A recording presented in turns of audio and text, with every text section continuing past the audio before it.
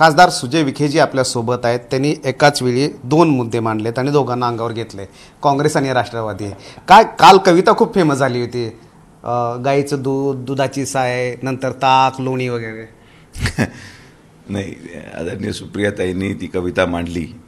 त्या कवितेचं विश्लेषण त्यांनी केलं. त्यांनी त्यांची बाजू मांडली. मी माझी बाजू मांडतो की त्यांचा जो मुद्दा होता आता मी महाराष्ट्रामध्ये जर तुम्ही पाहिलं की हे जे काही अडीच वर्षामध्ये महावसुली आघाडी सरकार जे चाललं यामध्ये सगळ्यात जास्त लोणी जर कोणी खाल्लं असेल तर ते राष्ट्रवादी काँग्रेसच्या मंत्र्यांनी खाल्लं.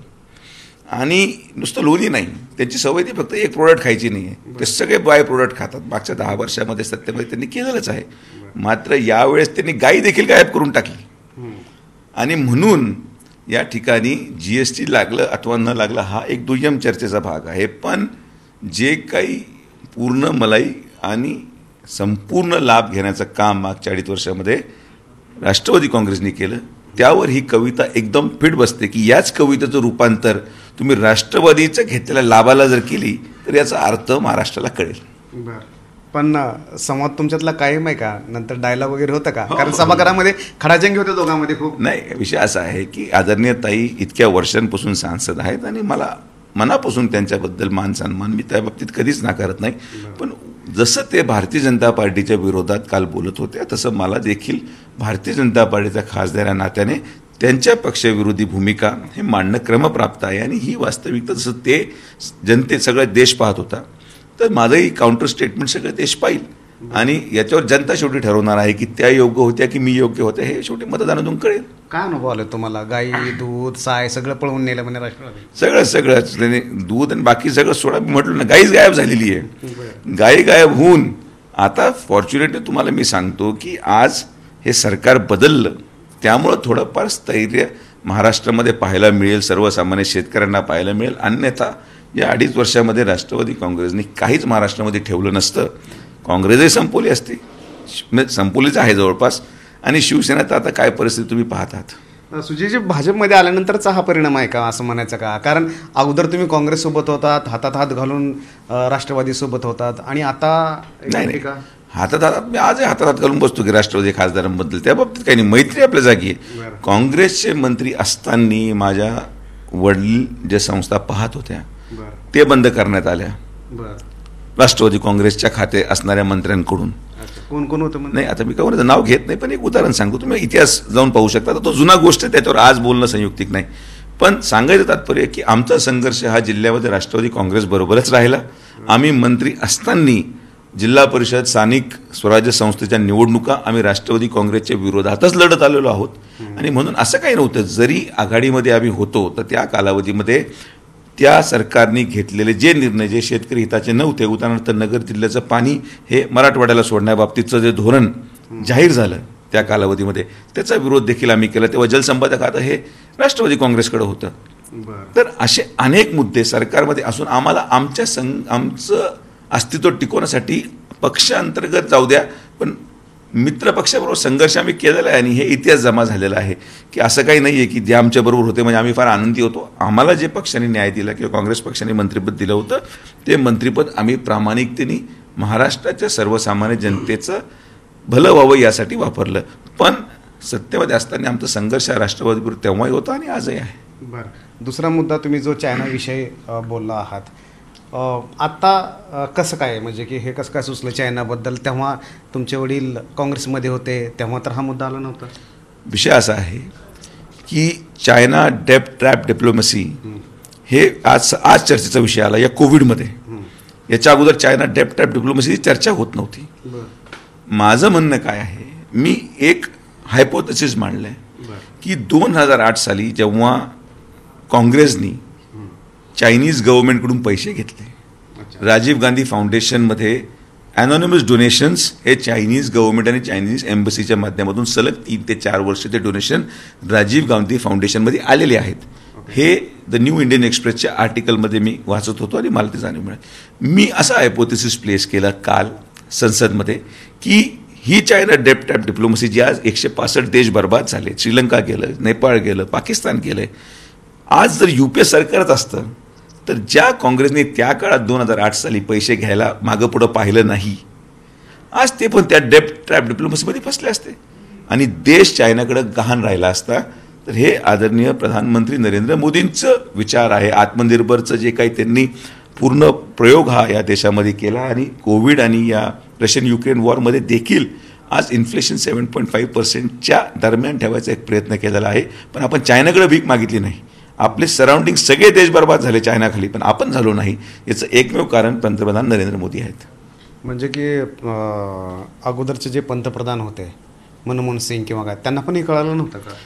तेच आश्चर्य आहे. तेच तो ऑडिट पॉईंट आहे की प्रधानमंत्री मनमोहन सिंगनी कधी या गोष्टी थांबवल्या कशा नाही? हे तर क्लिअर कट एव्हिडन्स होतं.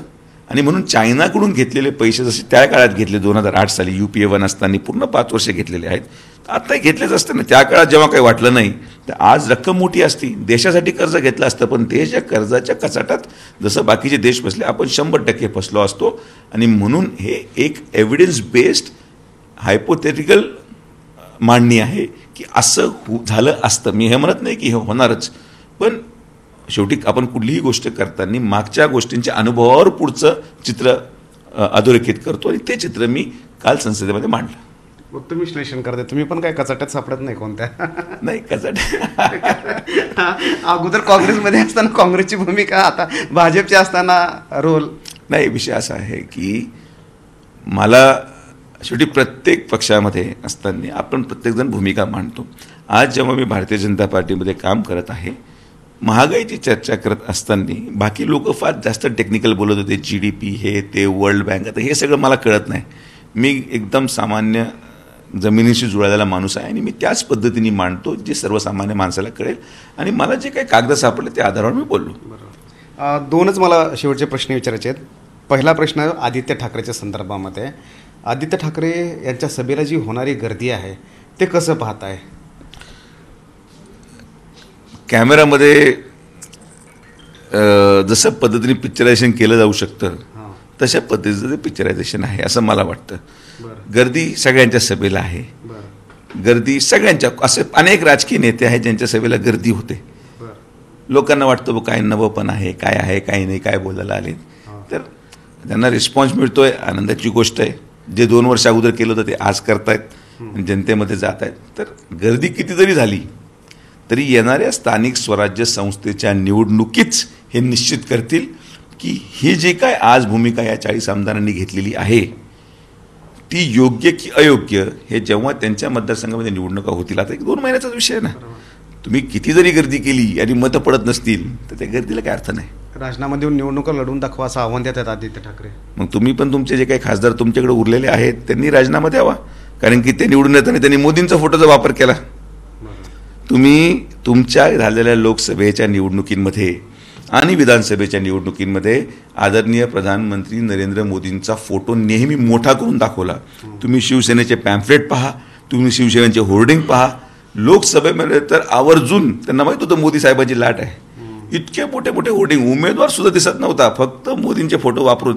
तर तुम्ही तुम्ही जसं आज आव्हान करताय तसं आमचं प्रति आव्हान आहे की तुमचे जे खासदार तुमच्याकडे आहेत जे काही उरले आहेत त्यांनी राजीनामा देऊन एक लोकसभा तरी लढून दाखवा चला मोदींच्या फोटोशिवाय एक.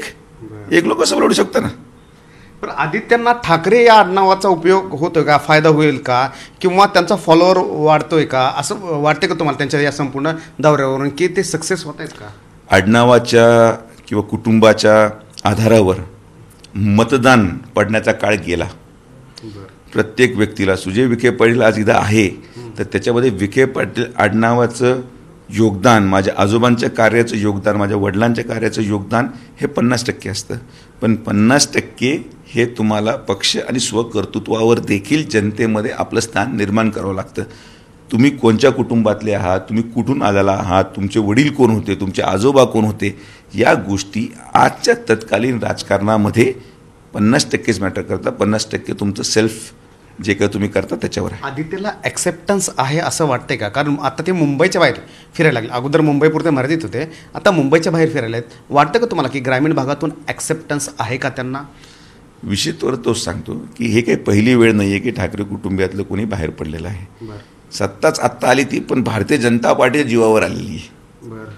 त्यांना जे मतदान पडलं होतं विधानसभेमध्ये हे माननीय देवेंद्र फडणवीस साहेबांच्या नेतृत्वाखाली भारतीय जनता पार्टी शिवसेना युतीमध्ये जे कामं झाले जे फडणवीस साहेबांची संकल्पना होती ज्या केंद्राच्या योजना राज्यामध्ये राबवल्या गेल्या त्या आधारावर मेजॉरिटी एकशे पासष्ट आमदार आमचे एकत्रितपणे निवडून आले होते. तर असं काही पहिल्यांदा बाहेर फिरतं असं काही नाही. अनेक वेळेस दौरे झालेत अनेक वेळेस गर्द्या झालेत पण कधी मतात रूपांतर होताना मी तर पाहिलं नाही.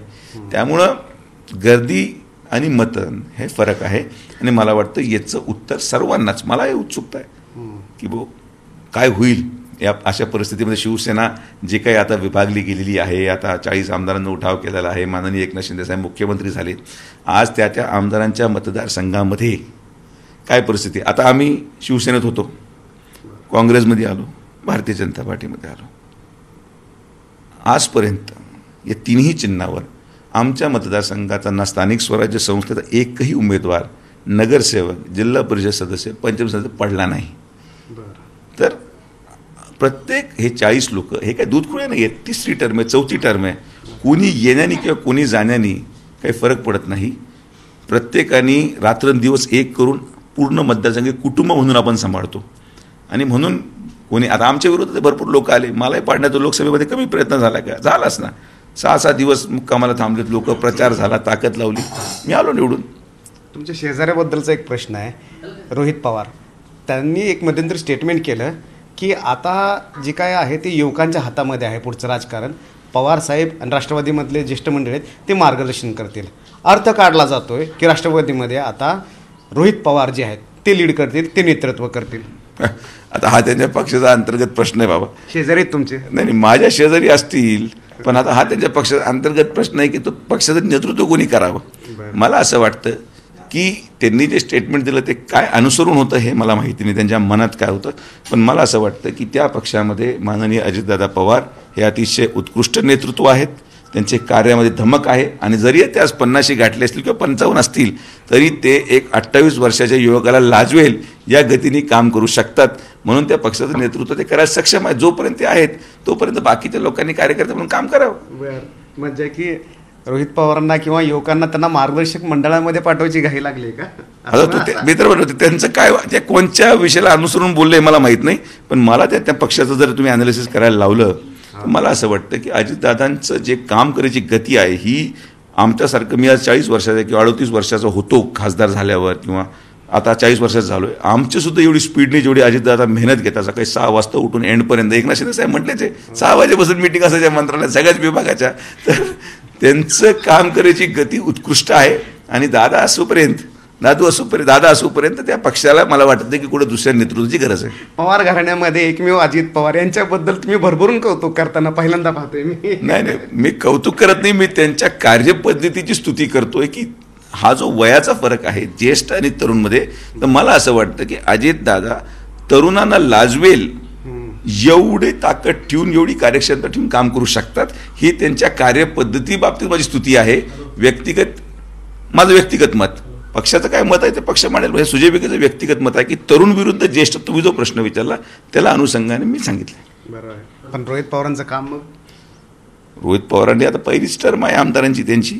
भविष्यात ते आमदार होतील नाही होतील अजून कोणी ठरवलंय? आम्ही भारतीय जनता पार्टीचं सीट असणार ना? आम्ही बाय थोडं दिलंय ते इलेक्शन विधानसभा पुढे व्हायची. भविष्यात तरुण जे पाहतील ते पाहतील हो. आम्ही इलेक्शन बाय थोडं सोडलंय. कर्जत जामखेडमध्ये त्यांनी जे काही आता आता आमदारकी लढवली आहे त्याच्यानंतर आमचा भारतीय जनता पार्टीचा उमेदवार तिथं सक्षम पद्धतीने उभा राहील. असं कसं करायचं मदत असणार तुमची? मदत असणार तुमची. मदत कसं काय असणार? मी भारतीय जनता पार्टीला मदत करणार ना. भारतीय जनता पार्टीचा खासदार या नात्याने भारतीय जनता पार्टीचा आमदार भारतीय जनता पार्टीचा आमदार कर्जत जामखेडमध्ये निवडून आण्याची सर्वस्व जबाबदारी ही माननीय राम शिंदे साहेब आणि खासदार या नात्याने सुजय विखेची आहे. आणि म्हणून आणि म्हणून ते जर असं भाकीर करत असतील की भविष्य त्यांचं तिथं ते कायमच आमदार राहतील असं जर त्यांचं म्हणणं असेल तसं होणार नाही. भारतीय जनता पार्टीचा आमदार पुनश्च एकदा कर्जत जामखेडमध्ये आम्ही निवडून आणून दाखवू. कमळ उगवेल. Hundred percent. कमळाचंच होतं. मध्ये थोडीशी गडबड झाली पण आता परत आपण सुधारित करू. ती गडबड तुमच्या भेटीमुळे वाढली होती रोहित जैन तुमच्या कारण असं अशी चर्चा होती की तुम्ही दोघ जण एकत्र आलात आणि राम शिंदेनं पाडलं. नाही नाही अरे बाबा विषय असा आहे की रोहित आणि माझी भेट त्याच्या विधानसभेला एंट्री पूर्वी झाली होती. आणि रोहित पवार आजही तसं पाहायला गेलं तर आमचं संभाषण वेगळ्या वेगळ्या मुद्द्यांवर होतं.